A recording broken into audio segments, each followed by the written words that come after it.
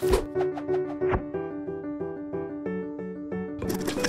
our new high school course, which teaches computer science principles, Code.org is about to release a new tool called AppLab. AppLab is a programming environment for students to make really simple apps. It has a design mode to let you design the look and feel of your app.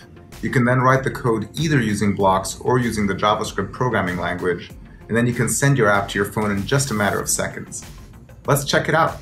So hi, I'm Sarah. I'm the product manager on Code.org's Computer Science Principles project. And I'm going to show you design mode of App Lab, which is where I can create the layout for my app without having to know HTML or CSS.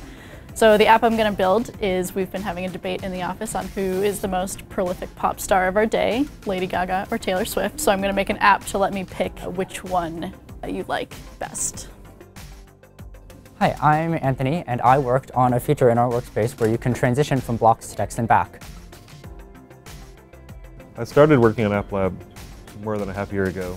You can build games, you can build lots of interactive graphics. So if you like to build animations, connect up an event for when that button is clicked, I'm going to use the play sound command.